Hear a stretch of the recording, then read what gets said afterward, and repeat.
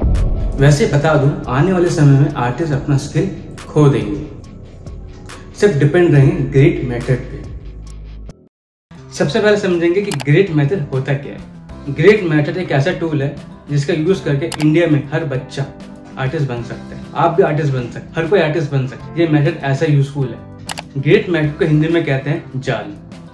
तो great method का use कैसे करते हैं? एक अपने ए फोर साइज़ का इमेज है, जो एक आर्ट वर्क को बनाना चाह रहे हो। बड़े से कैनवस पे मतलब कि दो बाई तीन पे जितना भी कैनवस का साइज़ होगा उसके अकॉर्डिंग आप मेज़रमेंट करना है अब ए फोर साइज़ जो आर्ट वर्क है जो उसमें जो आर्ट वर्क बना हुआ है वो आप इस पर कैसे उतारोगे? एक्यूरेटली मतलब डिक्टो सेम टू सेम जितना ए फोर साइज़ का हाइट और लेंथ होगा उससे मल्टीप्लाई कर देना आपको बड़े कैनवस पे जो भी आप साइज़ ले रहे हो। जितने यहाँ बॉक्सेस बने ए फोर साइज़ में सेम बॉक्सेस बनेंगे बड़े बड़े कैनवस पे। तू समझा? हाँ। नहीं तू समझा नहीं। तो सबसे पहले आपने देखा कि ए फोर साइज़ में जो बॉक्सेस है सेम बॉक्सेस आपके यहाँ बनेंगे बड़े कैनवस पर अब बड़े कैनवस पे बनने के बाद यहाँ सामने देख सकते हो जो आपका आर्ट वर्क है, उसको सेम आउटलाइन यहाँ कॉपी करना है। तो बेसिकली ग्रेट मेथड का यूज़ वो लोग करते हैं जो ड्राइंग नहीं कर पाते। ड्राइंग नहीं कर पाते। ड्राइंग नहीं कर पाते। या कह सकते हो जो बिगिनर है, बड़े कैनवस से काम करना चाहते हैं, लेकिन उससे एक्यूरेट ड्राइंग नहीं हो पाता है। तो कैसे करेगा? वो ग्रेट मेथड का यूज़ करेगा। कुछ लोगों को लगता है कि ग्रेट मेथड जो यूज़ होते हैं वो गलत है और कुछ लोगों को लगता है ग्रेट मेथड बहुत सही है। मेरे हिसाब से ग्रेट मेथड गलत नहीं है। क्या बोला तूने? मेरे हिसाब से ग्रेट मेथड गलत नहीं है ना ही ये सही है। कंफ्यूज हो रहे हो ना? ये गलत है कि ये सही है या आप क्लियर नहीं कर पा रहे इसकी शुरुआत काफ़ी साल पहले हुआ था एंशंट इजिप्शियन टाइम पे। ये मैं हिस्ट्री के बुक्स के थ्रू बता रहा हूँ। लेकिन ये यूज़ करते क्यों थे? पहले के टाइम पे अगर वॉल देखोगे तो इतने बड़े स्केल में काम होते थे बड़े कैनवस भी काम होते थे। उस टाइम ग्रेड का यूज़ किया जाता था फॉर एक्यूरेट ड्राइंग करने के लिए। आज की डेट में अगर देखा जाए तो अगर पेपर में आर्ट वर्क बना रहा कोई भी आर्टवर्क बना रहे अपने थॉट लगा, अपने टाइम देके, उसको बड़े कैनवस उतारना चाहते हो या फिर आप बड़े वॉल पे उतारना चाहते हो तो ग्रेट मेटेरियल का यूज़ कर सकते हो। उसमें कोई गलत नहीं है। लेकिन आज की डेट पे ये उल्टा हो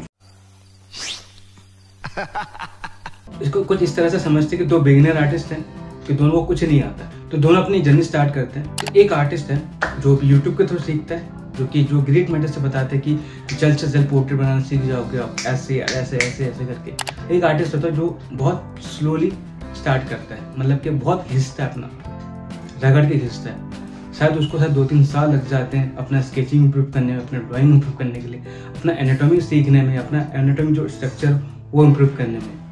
काफ़ी टाइम लग जाता है, लेकिन एक जो आर्टिस्ट है जो ग्रेट मेथड के थ्रू पोर्ट्रेट बनाना सीख जाता है और उसकी फ़ैन फॉलोइंग बढ़ जाता है। अगर आप हॉबी आर्टिस्ट हो तो अगर इस मेथड का यूज़ करोगे तो आप भी बहुत जल्दी पोर्ट्रेट बनाना सीख जाओगे। बस यही सीख पाओगे। ये सच बात है, इससे आगे नहीं बढ़ पाओगे। लेकिन इंडिया में तो यही चल रहा है।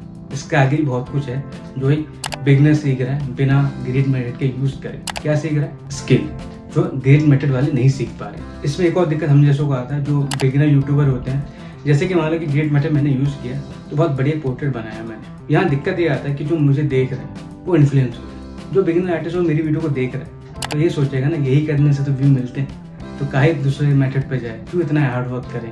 तो इसमें देख सकते हो कि जो पहला वाला आर्टिस्ट होता है, वो ग्रेट मेथड का यूज़ कर रहा होता है। दूसरा आर्टिस्ट बिना गेट के काम कर रहा होता है। लेकिन पहले वाला ग्रो हो रहा है, दूसरा वाला ग्रो नहीं हो रहा एक टाइम आता है कि पहला अटक जाता है। दूसरा वाला बहुत आगे निकल जाता है, क्योंकि उसकी बहुत चीज़ें इंप्रूव हो जाती हैं। वो फ्रीहैंड ड्राइंग कहीं भी कर सकता है। आउटडोर लाइफ स्केचिंग है, वो भी कर सकता है, लेकिन ग्रेट मेथड वाला नहीं कर सकता। अगर आपके फ्रेंड सर्कल में कोई है, अगर वो ग्रेट मेथड का यूज़ कर रहा है तो उनसे पूछना ज़रूर तो आउटडोर कर पाएगा चैलेंज लेना उसके साथ। उन बिगिनर आर्टिस्ट को मैं एक एडवाइस देना चाहता हूँ कि आप दो तीन साल के लिए आर्टिस्ट बनने के लिए आए हो, या पूरी लाइफ टाइम एक काम करने के लिए आए ये शॉर्ट टर्म अचीवमेंट आपको मिल जाएगा। लॉन्ग टर्म में क्या करोगे? उस लेवल तक कैसे पहुंचो जिस लेवल तक आपको पहुँचना दुनिया आपको जाने आपके आर्ट स्टाइल के थ्रू ये डेवलप करने में काफ़ी टाइम लगता है, काफ़ी चीज़ों को सीखना पड़ता है। ड्राइंग कलर थ्योरी बहुत सारी ऐसी चीज़ें हैं जो आपको सीखना पड़ेगा एक्सप्लोर करना पड़ेगा, अपने एक्सपीरियंस अपने ऑब्जर्वेशन को बढ़ाना पड़ेगा। आर्टिस्ट बनने के लिए आपको आपकी श्रद्धा देना पड़ेगा और अपना जो समर्पण है, सबको देना पड़ेगा। जो आज बिगिनर है, वो आगे जाके कल को सीनियर सिटीजन बनेंगे सीनियर आर्टिस्ट बनेंगे तो तभी आपको रेस्पेक्ट मिलेगा ना। वो अर्न करने में सालों साल लग जाते हैं। जितना स्पीड में घुसते रहोगे ना, आपको ब्रॉड नहीं अब्रॉड दिखाई देगा, सच में। तो टाइम लगता है ब्रॉड होने में, फिर अब्रॉड पहुँचने में। उसकी बात ही अलग होगी। उससे अदर आर्टिस्ट आपसे मोटिवेट होंगे। मोटी बीट नहीं मोटिवेशन मिलेगा उनको। अगर आप यहाँ तक मेरी वीडियो को देख चुके हो तो उनसे सवाल पूछ सकते हो, जो आपके फेवरेट यूट्यूबर हो, जो पेंटिंग बनाते हो, जो इंस्टाग्राम पे हो, उनसे सवाल पूछ सकते हो। सर, आप बिना ग्रेड के कुछ बना सकते हो? मैंने पूछा है। सर, एक sir sir sir please please थोड़ा सा डेमो दे दो, सर फ्री हैंड ड्राइंग का। इससे क्या होगा, अगर मैं किसी को पेंट कर रहा हूँ तो वो आर्टिस्ट अगर फ्री हैंड ड्राइंग भी करेगा तो उसके जो सब्सक्राइबर है, वो भी तो सीखेंगे। Indirectly art community grow artist भी ग्रो होंगे। उनके आर्ट प्रोसेस जो इम्प्रूवमेंट होनी चाहिए, वो भी होंगे। ये मज़ाक मस्ती वाला एक वीडियो था, किसी को हेट नहीं देना। बाकी आप दोस्तों में शेयर करें, उन दोस्तों में जो ये अप्लाई करें ग्रिट मेथड का। उनकी आँखें खुले, कान खुले ना खुले, आँखें ज़रूर खुले। मैं उन आर्टिस्ट से भी एक सवाल है जो बी एफ़ ए कर चुके हैं उनको बहुत नॉलेज है बट वो शेयर नहीं कर रहे या फिर वो कैमरा फेस नहीं कर पा रहे। तो दोस्त बिना कैमरा फेस के भी आप आर्ट बुक शेयर कर सकते हो अपनी नॉलेज शेयर कर सकते हो। अपना जो आर्ट कम्युनिटी और ग्रो होगा और उनको अच्छी नॉलेज मिलेगी। मैं अपने चैनल में जो भी बता रहा हूँ आने वाले टाइम पर आप उससे अच्छा बता पाओ। बहुत ऐसे नॉलेज जो मैं शायद छोड़ चुका हूँ या मैं बता नहीं पा रहा आप उसे कवर कर पाओ। मेरा सिर्फ़ मोटिव ये है कि art community grow art field में जो आ रहे हैं उनको थोड़ा सही रास्ता में बता पाऊँ बस ये मेरा मोटिव था। आपका ओपिनियन क्या है ग्रेट मेथड को लेके? तो बताओ मुझे कमेंट सेक्शन में। तो मैं चला ग्रेट मेथड का यूज़ करना क्योंकि मुझे नेक्स्ट प्रोजेक्ट में ग्रेट मेथड का यूज़ करना है। उसके बिना मैं पेंटिंग बना ही तो नहीं सकता। तो मिलते हैं नेक्स्ट वीडियो में। तब तक आप प्रैक्टिस करते रहे। वीडियो में ही देखते रहे। शुक्रिया।